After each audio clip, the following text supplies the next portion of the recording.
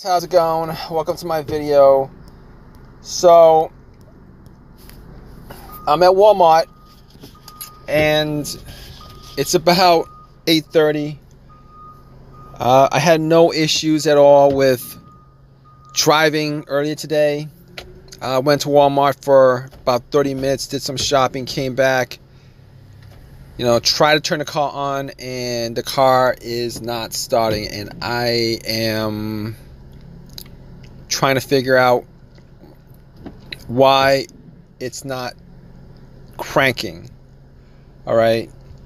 So basically, first thing that came up, as far as is concerned, the first thing that came up was, you know, maybe, maybe um, the battery had issues. Maybe my battery was strained or whatever. But believe me, I drove about 15 miles here I mean, I went to a bunch of other places before I, I, I stopped here. So if there's any issues with, you know, if, if, the battery was low, it would have been charged up.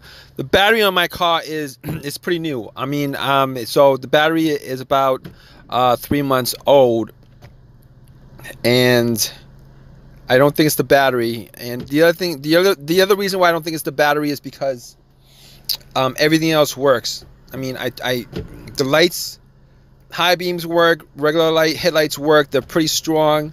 Um, there's nothing that's out of the ordinary on the dash. All my lights on the dash work. The blower motor works. The radio works. Everything is working except the car is not turning over. You know, it's not even. Uh, I don't even hear a crank. It's not even trying to turn over. It's not even a slow crank. Nothing. Um, what I do hear is one single click and that's all I hear is one click. Now I don't think it's the obviously I don't think it's the alternator. It didn't die out on me while the the engine was on. If that was the case, then there's a good chance it's the alternator that's bad. But that's not the case. So basically, um, it could either be the relay or or a fuse. I can't. I, I I don't know if it's the fuse. Well, I could take a guess that it's not the fuse or the relay to the starter reason I know this is because, you know, I can hear click when I turn the key. Try to turn on the car. I can hear click. So a lot of times, if you can hear a click, it pretty much means that that there's electricity getting to the solenoid of the startup, except the motor is not is not turning over. I mean, it could be a negative cable too, but um, but no, I um, I pretty much cleaned up all the wires um, over the winter. I cleaned up all the wires, uh, including the negative. I'm pretty sure that's not it. I did recheck it. Negatives are good on here, so I don't think it's anything specific to the fuse or the relay of the starter. Now, I did get the car. I did get the car um, jumped. One person helped me jump the car and unfortunately that didn't work didn't work.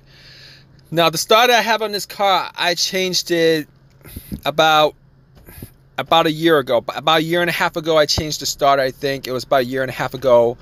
Um, i had pretty much the same situation except um, you know i kind of had issues before that. Meaning sometimes the car would start sometimes it wouldn't sometimes it would start sometimes it wouldn't.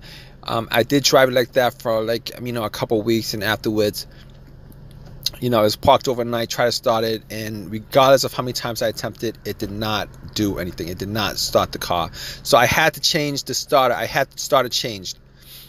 Unfortunately, I didn't buy a brand new starter. It was not an OEM starter. It was a remanufactured starter, and I had that put in.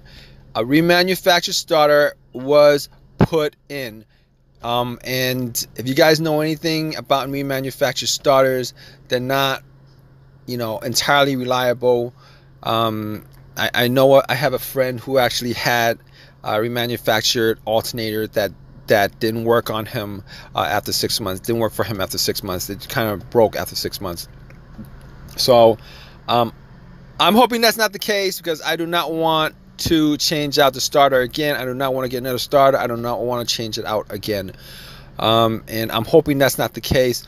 But unfortunately at this point I think it is the case. Um, I did use a crowbar to knock on the motor try to start it. Unfortunately that did nothing. It jumped at nothing. Um, sometimes if you uh, knock on the uh, starter itself sometimes it'll start up. I don't know why it would do that but that's just the way it is. For whatever reason um, you know if you knock it maybe it knocks maybe it was uh maybe it's stuck because you know after so many um, turns maybe it, it's kind of it needs a little bit of oil needs a little bit of movement rust or whatever clear out the rust. I don't know but this is not the case at this point um, it's not starting for me. Um, so at this point unfortunately what i'm going to do is i am going to have to call a tow truck to get it towed um, I'm gonna have to wait an hour for it. I do have AAA. I'm gonna wait an hour, an hour and a half, or whatever to get a tow truck here. That's what I'm gonna do. Uh, I'm gonna keep you guys updated, um, and uh, I'm pretty sure. Uh, unfortunately, at this point, I'm pretty sure as it started, that's the problem. But I'll let you guys know.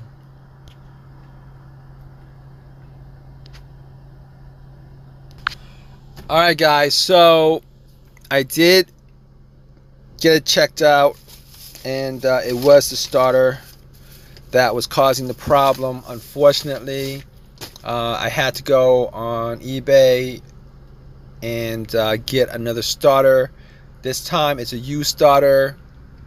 Cost me about, you know, I don't know. It cost me. It was it was it was cheaper, a lot cheaper than than the than than the starter I got at at AutoZone. But um, got that put in.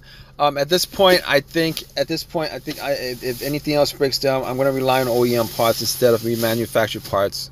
So that kind of sucks, but that's just the way it is. Um, yeah.